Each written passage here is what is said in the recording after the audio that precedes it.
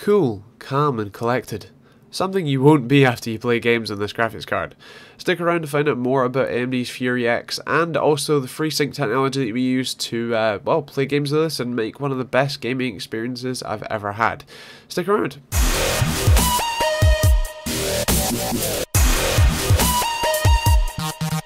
Check out our website at techteamgb.co.uk for more info on both this and many other products, and also up to date news on all things tech. Stick around for this awesome video. So this is AMD's flagship GPU, the Fury X. It's a Fiji based chip which means it has HBM technology and if you want to learn more about that check out our interview with Richard Huddy, uh, AMD's chief gaming scientist. Now it does come with a closed loop liquid cooling system uh, provided by Cooler Master and while the one we did have is actually uh, has a couple of issues, um, namely the badge is wrong and it makes a bit of a whining noise, the one you'll actually buy will be fine. As you can see that's the HBM memory on the die itself which is why this card is so small small. Bear in mind that obviously there is only 4 gigs of RAM here, but uh, because it's such a wide bus at 4096 bits, you do actually also get um, the ability to switch between system memory at the same speed, so no performance hit, which is pretty cool. You also get 4096 stream processors too.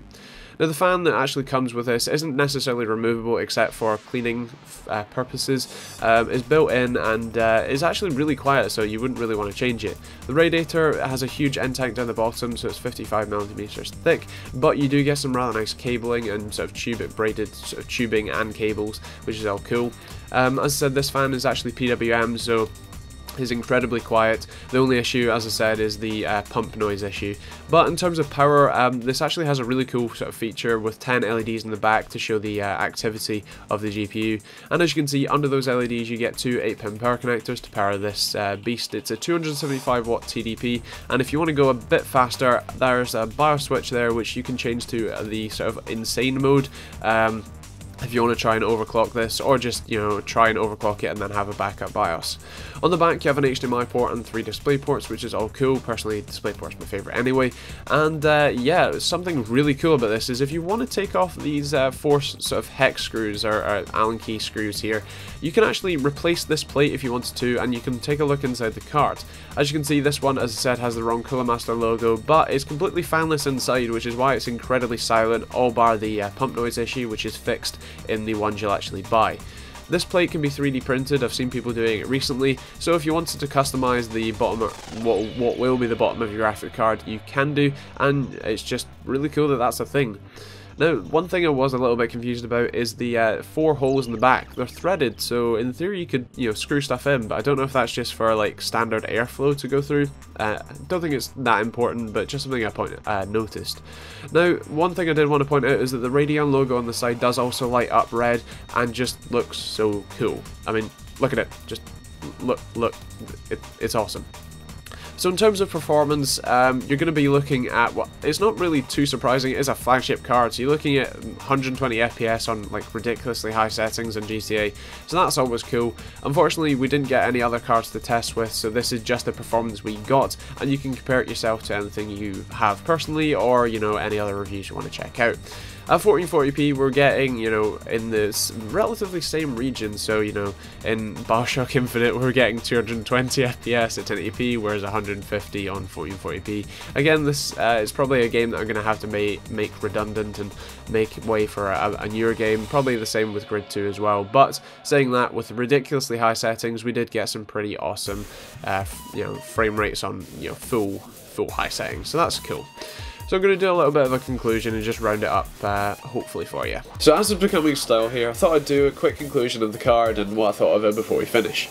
So let's start off with temperatures. Besides Unigine Heaven's Hiccup, where it said it's running at 2.1 million degrees Celsius, and um, we're actually running at about 60 degrees, uh, you know, on full load, which is pretty fantastic, especially, I mean, I know it is closed loop liquid cooling, but you know, for it being practically silent, besides the fact that we got uh, the uh, the older generation with uh, you know the pump issue, um, it's it's fantastic. Especially you know the card that you pick up on the street or you know Amazon if you want to buy it there.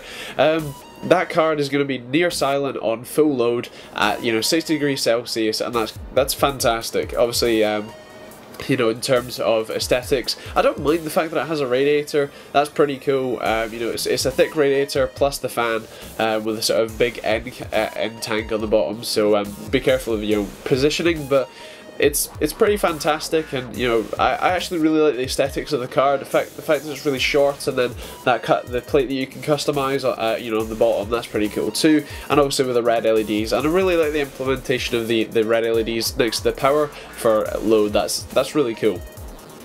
Now, in terms of performance, this sits very close to a 980 Ti as far as we found in other people's benchmarks. Unfortunately, we didn't get a 980 Ti to be able to test this with, but even at 2560 and, uh, well, I didn't get a chance to include it, but at 4K, um, that's pretty, you know, it does very, very well, especially on high settings. Obviously, it is uh, AMD's highest end GPU, but in comparison to a 980 Ti, as far as I've found, it's very similar, and if you do wind up the resolution towards, you know, 4K, you're looking at closer to a Titan X, which is actually pretty fantastic fantastic because this sits basically the same price as of reviewing. Uh, it sits at the same price as an 980 Ti, so if you are planning on going 4K anytime in the future, you'll actually get more out of this, uh, you know, from that upgrade than you will if you went for, uh, you know, a Titan X or at very least a 980 Ti. So that's really cool. Now in terms of power efficiency, it does seem to be a lot more power efficient, which is actually really awesome. Um, and you know, obviously in comparison to AMD's older cards or even the 390X, um, it's obviously cooler, runs, seems to be running more efficient, and just generally is pretty awesome. So that's really cool. In terms of sort of pros and cons, obviously it's a fantastic GPU with great power. Obviously things like FreeSync, which we're checking out in the BenQ video if you want to check that one out. Um, you know that that's pretty fantastic and all that sort of stuff and obviously great temperatures. But the cons are that it is quite an expensive card so you know bear that in mind. Obviously it is a flagship card but you know just bear that in mind when you go to look at it. If you go oh I really want this card and they go oh that's really expensive. It's a flagship card you, you know you kind of expect it.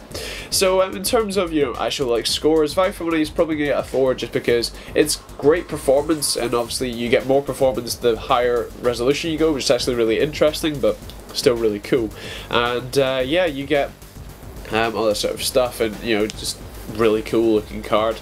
Um, in terms of you know performance, gonna get a five because it's fantastic. I just uh, it's you know it's it amazing.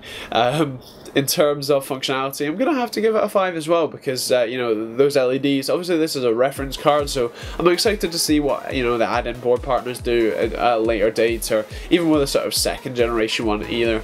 Um, it's gonna be really exciting. In terms of style, gonna get a five as well. For TechteamGB score, it's gonna get a five as well. It's definitely a gamer-approved card, and it's something that you know, if you have the money for it, I definitely recommend checking out in comparison to an 980 Ti. Obviously, you know, you do get some uh, different benefits, but for something like FreeSync, where you end up with a BenQ uh, XL24 uh, 2730Z, it's a that's a fantastic monitor and paired with this card it was the best gaming experience that I've almost ever had. So you know that's that's kind of something to say about it. And uh, yeah if you're interested in a high-end GPU this may be something to look at for any more specs, you know, uh, the amount of stream processors and stuff, check out the website for the full written review. And uh, other than that, don't forget to, uh, uh if you want this, buy it on Amazon and help us out. You know, click the uh, link down that way. Um, if you want to grab a t-shirt, mine is in the wash at the moment, but if you want to grab a t-shirt, a hoodie, or anything else, check out their merchandise link. That's Redbubble. They're awesome. You get it in like 5 to 15 days in both the US and the UK, so that's really cool. Um, feel free to subscribe if you haven't already. Check out some of our other videos over there. Um, feel free to check us out on Twitter and Facebook we post you know occasional things on there so you know feel free to interact with there and uh, yeah thanks for watching and we'll see you on the next video